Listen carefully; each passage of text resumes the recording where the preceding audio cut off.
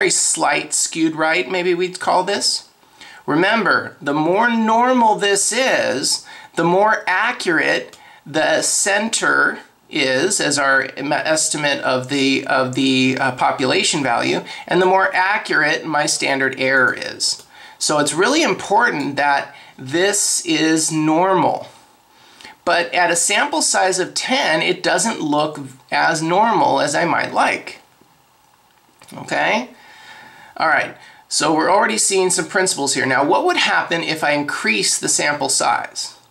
So I'm going to reset this, and now I'm going to change the sample size. Okay, I'm going to change the sample size to 30. 30 is kind of a famous number in, in, um, in, for sample means. So if I change the sample size to 30, all right, I did that.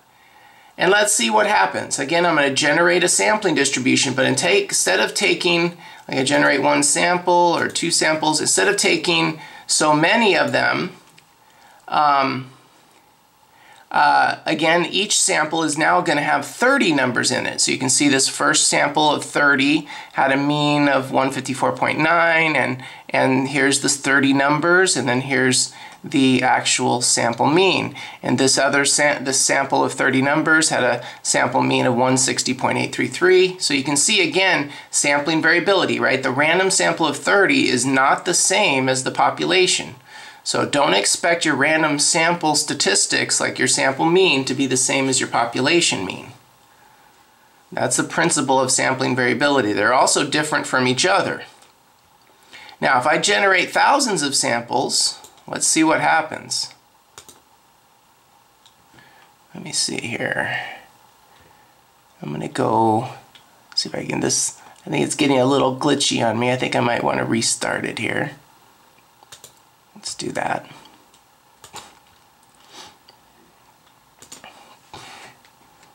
Doesn't take but a minute. If, you if your computer program ever gets kind of glitchy, turn it off or click out of it and then click back in and see what happens. And there we go. And again, I'm changing this to 30.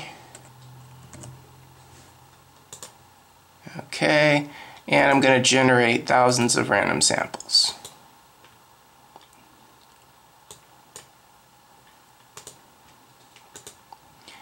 Alright, well, this thing is giving me a little bit of a hassle today. It's, it's standing in front of here. Um, so, um, a couple things here. Um, let's see. Let's try, let's try this again here.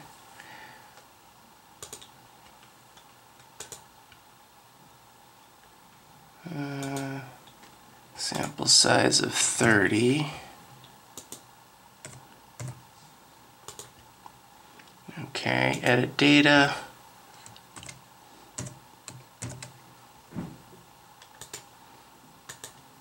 There we go. Okay.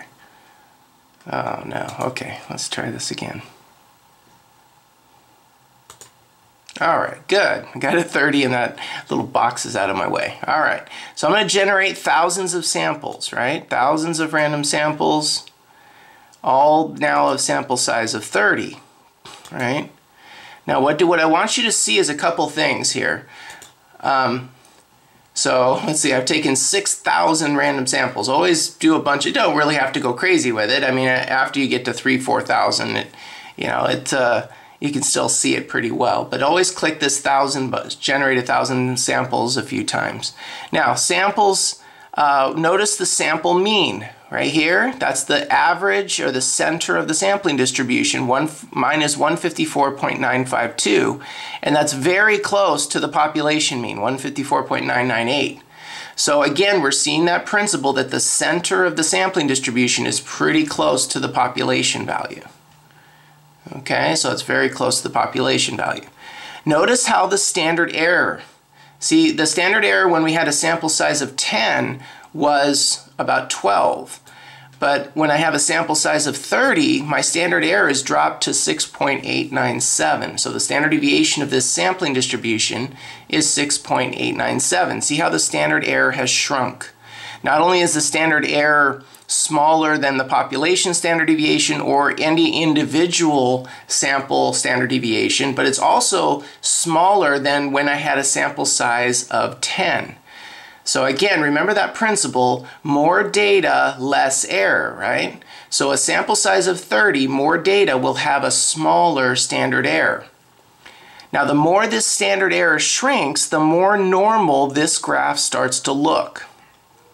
Okay, so, um, so this is now looking very normal. I'm much more happier with the shape of this sampling distribution in terms of the accuracy of the mean and the standard error. Um, later we'll also see in confidence intervals that we like to use um, z-score and t-score curves um, and critical values, which are also go with normal. So this has to be normal. There's a really uh, especially with a lot of the traditional formulas, you really need this to be normal. Okay, so, um, so we see at a sample size of 30, this looks very normal, um, and the standard error has shrunk. Now if I go even bigger sample size, it'll just get more normal looking. Okay? So in fact, if the population was already normal, the sampling distribution, no matter what sample size I use, will be will be more normal than the original population because of that shrinking of the standard error. So if the original population was normal, then even with a sample size of 10, this would be normal. But because my population in this circumstance was skewed right, I needed a sample size of 30 or above for it to be, uh, for the sampling distribution to be normal. Okay, so that's a couple things that are really a good takeaway here from this. Now let's look at the sampling distribution for proportions. So I'm going back to StatKey, sampling distribution, and here's proportions. Sampling distribution for proportions. Uh, in our last video, we flipped coins, uh, 30 coins at a time. My, I used uh, data from my students. I had them all flip the coin 30 times and, and uh, count how many tails they got. So I'm going to change that sample size to 30. And since we're dealing with a situation where um, where we have uh,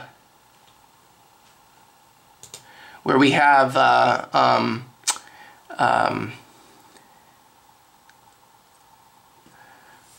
so let's go right here to edit proportion and I'm going to put in uh, 0.5 since uh, flipping coins and getting tails has a 50%. Uh, okay, so there's my 50%. So this is, this is a situation where you're flipping coins to get tails. Um, last time we I showed you a sampling distribution where we had about 60 samples. So maybe I'll click this generate 10 samples six times. And that's kind of the graph that we had on the board last time, right? It kind of looks like that, though this one's a little more spread out. And you can see each individual sample. So just because the population is 50% doesn't mean your sample is going to come out at 50%. When you flip coins, you're not necessarily always going to get exactly 50% tails. Back in this sample right here, we had 20 out of 30. So I'm seeing, again, sampling variability. okay, now Let's take a look now. This is not enough samples. I want more samples here. So I'm going to reset this here and I'm going to click the generate thousand samples a few times. All right, generate a thousand samples a few times. And again, what we're seeing, let's see what it looks like. There we go. Doesn't take very long. This is pretty impressive. I mean, 3,000 random samples, all of 30 um, so you're talking uh, 90,000 flips of the coin it did in a split second. This is a real game changer in modern statistics that we can calculate millions of values in a, in a split second. It's also the reason why we know more about statistics today than we ever had in the past. So you can see that it's very normal, right? We kind of saw that yesterday, that it looks very normal. We also see that the average of my sampling distribution here is 0.5. Uh, I think when we estimated uh, the standard error yes, last time, uh, we had a standard error of about 0.1. And this one's actually 0.091, uh, which is actually pretty close. So our, our estimation wasn't too far off. So here's the standard deviation of the sampling distribution, 0.091.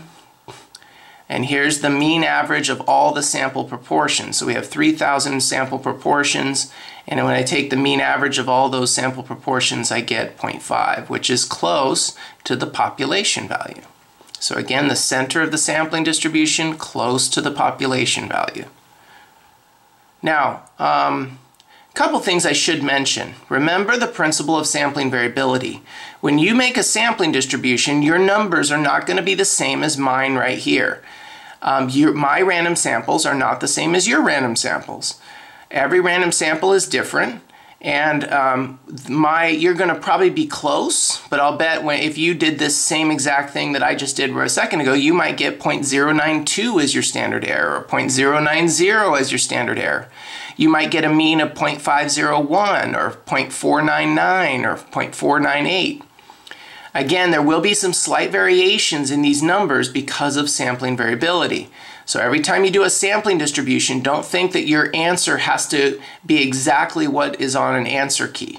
It will be, there will be sampling variability. That's why you'll see in, in the answer keys it'll say um, the answers will vary slightly. You should be close, but it, there will be some slight variations in the answers for the mean and the standard error. Okay, let's look at another uh, proportion one. So let's see, here's our proportion. Now this was an interesting data set. It had a population proportion of 0.275 and this was the graduation rate at a college. So we're assuming that the population graduation rate of all students that have ever gone to that college is 0.275.